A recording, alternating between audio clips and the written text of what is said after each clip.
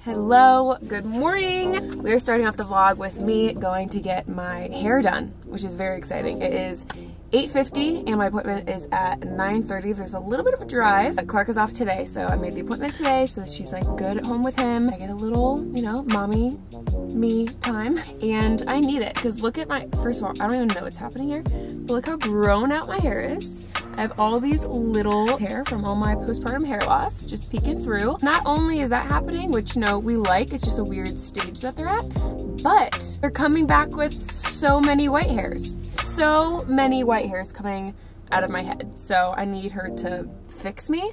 Uh, yeah, so let's go get our hair done. For the road, I have my celery juice, of course, and then I have my chicory root coffee.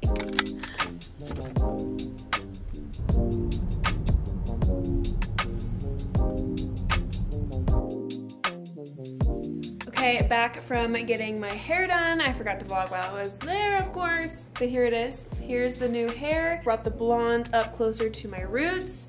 We left the little baby hairs alone because them being highlighted would be weird. So we let that go. Um, I didn't take anything off the length. I did get my hair cut probably like a month ago. My mom did it, so I didn't need it. I didn't need it cut, um, but I did take like four inches off of it like a month ago. Crazy. But yeah, nice little refresh. It's a partial balayage and I love it. I'm here for it. It's everything I needed to feel better. All right, here's the full thing. I guess you can't really see it when the camera's up close to my face, but we brighten the blonde a little bit, but I love it. Feels so much better than it was. So even though I'm just about to pull it up in a ponytail, but whew.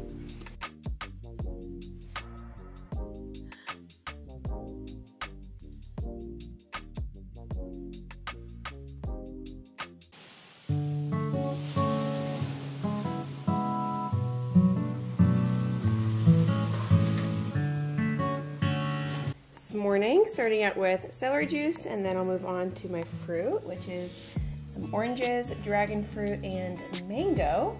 And she is having the same thing. Say good morning. Good morning. Say good morning, Nala. So she's having the same thing that I'm having. Fruit first on an empty stomach is the most cleansing, best for digestion. It's super healing. So we will have our fruit and then I'll probably give her some pancakes.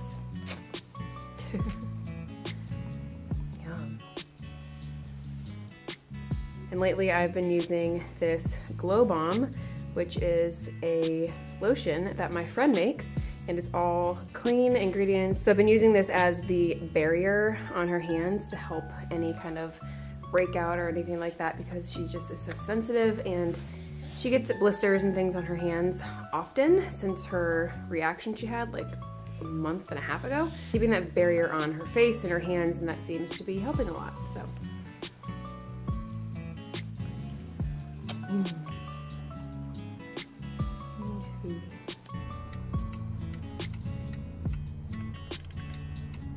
We are heading to the doctor. She has her nine month appointment, which is insane.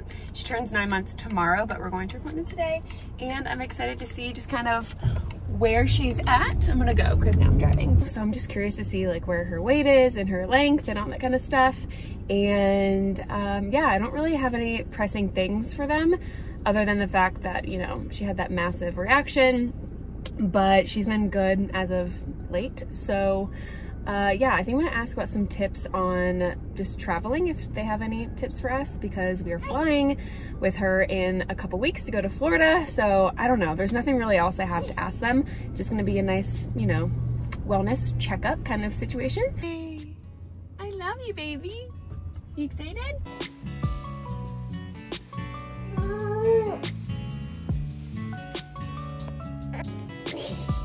Okay, we just got done at the doctor's and everything went really well. She is uh, 19 pounds, 10 ounces. She's like 27 inches long. I don't know what the percentile is. We didn't, I didn't ask about the percentile this time. But anyway, her eczema looks good. There's still little patches, um, but nothing too crazy. We're just avoiding the nuts and the wheat and she did have a little weird thing with banana like a couple weeks ago, so we're just avoiding that for now. Um, but other than that, she's really good. And then they checked her iron and it needed to be above an 11.2 to make sure that she is getting enough iron. Her hemoglobin was at 13, so she definitely is getting enough iron and I feel so, so grateful that she is in the safe zone and I don't need to stress about that anymore. Let me see the baby teeth. One's coming out that you can feel, the other one's just barely starting. There's a baby. There's a baby. There's a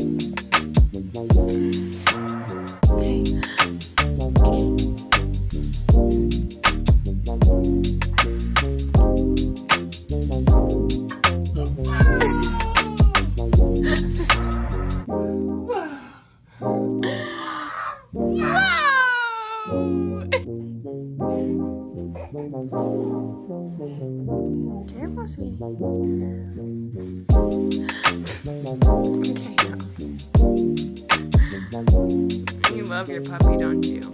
You love your puppy.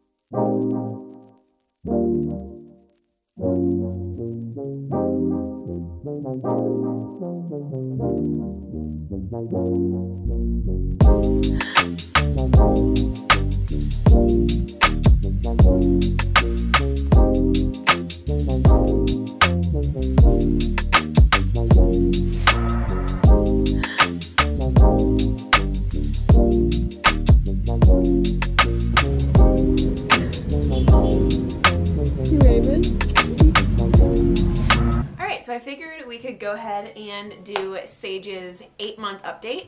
She now is officially nine months old, but the eighth month just got completed. It's all fresh, so I feel like that's when I'm gonna do the updates. It's just when she's fully completed that month. She currently right now has a little breakout from an acai bowl that she had yesterday. This girl is so sensitive. So her whole face is broken out underneath underneath her neck and her chin. It's really, really sad. She was doing so well for so long, and now we have another little reaction. Okay. Month eight has been so much fun. I feel like I say it every single time, but each month I'm like, this is my favorite stage. Like, this is my favorite month so far. And I think that it might just keep going that way. Yeah, say hi. So I wrote my notes down. So I suggest you guys do this whether you put it on video or not. I mean, I guess that's what baby books are for, is to keep track of stuff month by month. And I did not do that, and I fully regret it. I really wish that I would have gotten her a baby book and put all the notes in it. And I know it's not too late, but now I just feel like I'm way too behind. And now I just feel bad about not doing it. So my advice would be to get your baby a baby book right when they're born and start keeping track of all the things. But anyway, if you don't have a baby book and you don't do video, just take notes about what's happening each month because time is fleeting. It goes by so fast, like everyone tells you it will, and you start to forget stuff. It's wild everything is just kind of blurred. So in month eight, she started crawling. I think it was like a couple days into her being eight months, she started crawling and has been on the move ever since. And then that evolved into pulling up on things, and now she is crawling like really fast everywhere. Like I'll literally put her down in the kitchen and walk to the bedroom and like go into the bathroom and like call for her. She scurries on in there and pokes her little head around the door. It's really cute. People say oh, you know, just wait till they start crawling, just wait till they start getting into everything, which it's like, yeah, obviously, like that's gonna happen. But I don't know, I've really enjoyed the stage of her crawling and exploring and, I don't know, not necessarily getting into things, but just, I don't know, I don't really mind it as much, and of course I'm gonna keep an eye on her anyway. So I've really enjoyed being able to set her down and let her crawl around. Like, I feel like that's been really nice, honestly. What do you think? What do you think? do you like it? Are you happy that you get to crawl around? And now she clearly is pulling up on things and standing on her own while she's holding on to something. what you doing, big girl? So that started now too. Uh, she's been doing that probably for maybe a couple couple weeks, maybe. Uh, yeah, she just wants to stand now. So if I set her down to like, you know, crawl on the floor, she just like locks her legs and just wants to stand. So I think that she's gonna be walking before her first birthday. That's kind of my that's kind of my guess. She also said hi. I swear she said hi because, you know, she's been waving and everything for a month or so now. But I swear that she has said hi. She's done it a few times and then she just has stopped, which I've found. I feel like they do things and then sometimes they just stop for a while. But she definitely said hi. And then she tries to say mama, like I'll say mm, mama and try to like pronounce it for her and she puts her lips together and goes, mmm, mmm. Yeah, like she'll do that, but she can't say it yet. And she hasn't done any of the sounds to say dada, because I know that's easier typically for them to say. And she has not even said the D sound. She's gonna say mama first, 100%. 100%. Aren't you? You're gonna say mama first for sure. So she did have a reaction to bananas last month, and we tried it again this month, and she had the reaction again. Just got hives like all under her neck. This girl is sensitive. I don't know. I don't know what's going on she's now associating words like we'll say mom and dad and Nala and um, and certain things like her binky she knows like so she's starting to associate um, what things actually mean she's been doing her little squeal for a while like really excited just like communicating and just using her voice but now when music is on i swear she's mimicking the sounds and trying to sing and it's it's been really cute. In the car, she'll do it. She's definitely started getting into my plants, so that's been fun. Been trying to tell her no, and of course, it's something that she has to learn, um, but she has not learned it yet. And I think my me like having a reaction like, no, no, no, you know that kind of thing. It she thinks it's funny. She just giggles and laughs and smiles at me when I tell her no. So I think if I just make my reaction smaller and just say like no and then pick her up and move her somewhere else and just give her something else to do i think is going to be more beneficial than me like making it a big deal like oh no no you know because i think she likes that reaction out of me so i've just been like really chill about it she'll be doing it for a second just you know pulling the dirt out of the plants and whatever and i say no we don't do that and um and just kind of move her away from the situation and try to distract her with something else. So that's something we're navigating, learning boundaries. This is the stage where they get really clingy, apparently, and it, it shows that on the Wonder Weeks app, and then our pediatrician said the same thing. And she was like, Is she in her clingy phase yet? Stranger danger phase? And I'm like, She's been in that phase. she has definitely been in that phase. She is a mama's girl through and through, very attached to me. Um, if other people hold her, she just cries because she just wants me. Uh, I don't know how long that season is gonna last. It's funny because she's such an easy, chill baby. She on she really, really is. But when other people hold her, she just she just wants me constantly. She now like she's fine with Clark and stuff, but she prefers me. And if he takes her by herself without me, like she does not do well. She just cries the whole time and it's very sad. She's pretty much down to two naps per day now. Uh, she typically goes down between like 9.30 and 10-ish and then we'll go back down around like 2 or 3. Uh, she typically sleeps for about an hour and a half. That's kind of her like go-to time. Sometimes it'll be a little bit longer. Sometimes it'll be just an hour if it's a shorter nap, but most most of the time, nine times out of ten, it'll be an hour and a half. And sometimes we'll get a two-hour, two and a half hour stretch, and then we just adapt from there. We still go based off of wake windows. So right now she's up around two and a half hours at a time, and that's just kind of the way that it falls for her naps.